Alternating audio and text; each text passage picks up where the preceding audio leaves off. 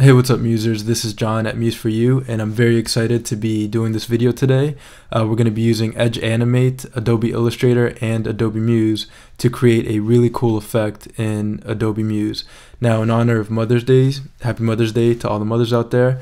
Um, in honor of Mother's Day, I've decided to do an effect pertaining to Mother's Day. So what we'll be recreating in this video tutorial, I have it right here. And if I hit Command Shift E to preview in the browser, we can see we have this really cool animation where the wings and the tails of the birds go up and down and the hearts kind of move and the heart in the middle kind of is a heartbeat in the middle. And then as you scroll up uh, the the menu stays pinned to the top. So we have that cool effect initially in the beginning that says happy mother's day and it says mom up there. And then you go up and it stays pinned to the top. Now I actually got inspired off the Adobe Muse site of the day. So I'll just um, go there real quick. And it was this great website that I just really liked. It's this uh, free, it's called o- Otake, otakavalleyeggs.co.nz. And they have kind of like the legs on the chicken going, you know, ever which way and the tail kind of changing there. And then they have, you know, some words here and, and a menu. And when you scroll up, the menu sticks to the top and you can see the rest of the website and it's just a very very interesting website. So i really like this effect and i wanted to to show to show you guys how to how to do this and to show yeah everyone how to how to do this because i really really like this effect. So yeah again i'll show you it's command shift e. So we scroll up and the menu stays pinned to the top. We scroll back down and we can see that animation. So this was created in edge animate. So we're going to be using edge animate adobe illustrator and adobe muse to create this effect um, and add it to our Adobe Muse website. So let's begin.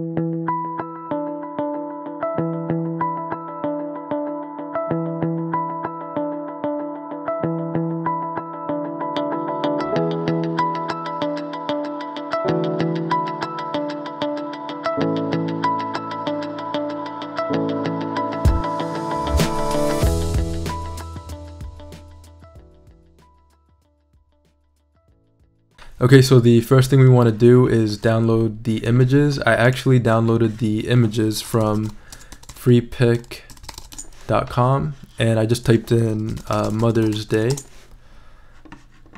and there was a few images that came up. So I just looked through them and, and found the image of the of the bird and uh, yeah, that's pretty much it. The image of of those birds. So that image is, if I can find it. Uh, let's see. Yeah, here it is. Mother's Day vector typographic card. And it's an Illustrator file, so I'm going to open up the uh, Illustrator file.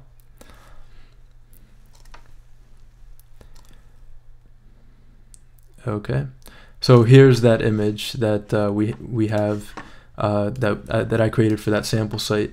Now all we want from this image is the uh, just you know the text, the the mom here, and these birds. So I'm just going to select this here. Actually, I'm going to, yeah, just select inside here, inside this area, and I'm going to hit Command C to copy. And I'm going to go to File, New, and I want to make the width of my artboard to 960 and the height um, I think I set it to 750 for the height so this is my artboard here um, and actually I'll backtrack a little bit um, yeah we just want to copy this and just it, it really doesn't matter the size of the artboard so I'm just going to go to file new again and just set it to 500 to 500 and I'll show you why in a second. And I'll hit command V and there is our image. Now the reason why it doesn't matter what size the artboard, artboard is is because I can just go to object and under here where it says artboards I can just click on yeah artboards and fit to art artwork bounds. And then it just goes around the whole image so I do like the size of the image. I think it's it's fine. Um, so we can just leave it just like that. And the size is, um, the width is 710. Um, but yeah, that's fine. And I'll show you why in a sec as we continue the video. Um, if this video gets too long, I might cut it up in different sections, but I'll try to do the whole video in, in one shot. Okay, so basically now that we have the image there, what I want to do is cut out the, the wings here and the tail on both of these birds. So the, this tail area right over here and this wing. And I also want to cut out the heart here in the middle and that's about it. So there's five pieces I'll be cutting out. So to cut it out, I'm just gonna click on the image. I'm going to right click and click ungroup because all of these elements are grouped and I'll just keep doing that. Okay, so now, yeah, so now we can just click on the bird. As before, if we clicked, we'd select the whole image.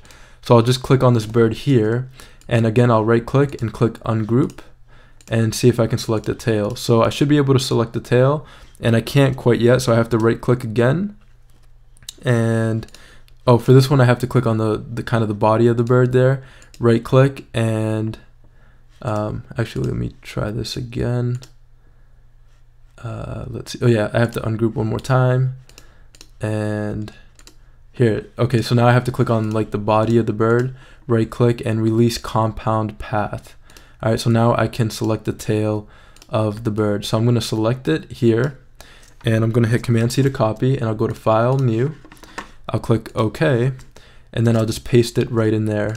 And we didn't get all of the bird. As you can see, it's kind of, the tail is kind of cut off there. So let me go back to my artboard here or to this image and just make sure I select the whole tail. And if I select the body, I can hold down shift and click on the body and that'll deselect the body there. So I'm gonna hit Command C to copy and I'm gonna paste it right in there. And again, I'm going to go to Object, uh, Artboards, Fit Artwork, Artwork to Bounds. Uh, I think that's what it was. Artboards, yeah, Fit to Artwork Bounds. So now it's kind of constrained within that uh, image and there's no extra kind of art you know artwork bounds here. Um, it just fits nice nicely around the image. So now I can save this image so I'll go to file save for web and I want to save it as a png-24 and I want to save it as a transparency and I want to uncheck clip to artboard. Otherwise you might lose some of the image as it clips the the artboard.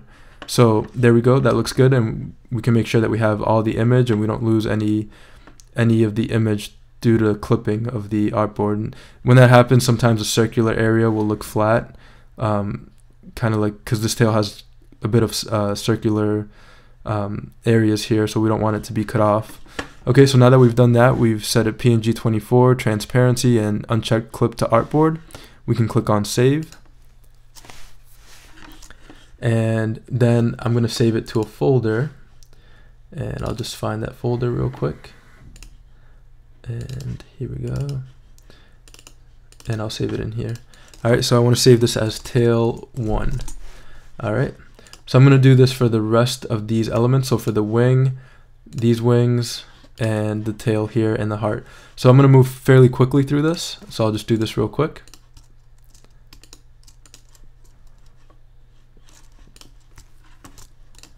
And very I'll just paste it in there. Gonna go to object artboard fit artwork to bounds file save for web save and I'll call this wing one. Okay then we'll go in here we'll ungroup and I'll select both of those elements in there. I'll delete this and then I'll go to object artboard fit artwork to bounds. Very good file save for web and I'll click on save We'll call this wing 2. And then I'll grab the tail here. There we go. And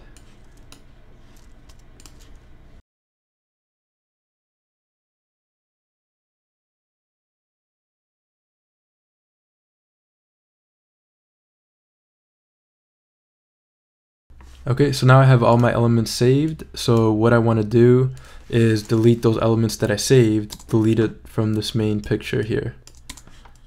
Okay, so all the elements, so I had saved the tail, so I'll delete the tail here. Very good, I'll delete these wings. And I'll delete the heart right there. All right, perfect. So now I'll just save this. I'll say file, save for web, and I'll click save. And then I'll just say kind of main image. Alright, so now I have all my elements in place. So that's, I believe, six images in total. So let's go back to that and check the images. I have the heart, the main image, the tail 1, tail 2, wing 1, and wing 2. Alright, so now we're going to open up Adobe Edge Animate and we're going to create the animation in Adobe Edge Animate. So I'll just open that up real quick.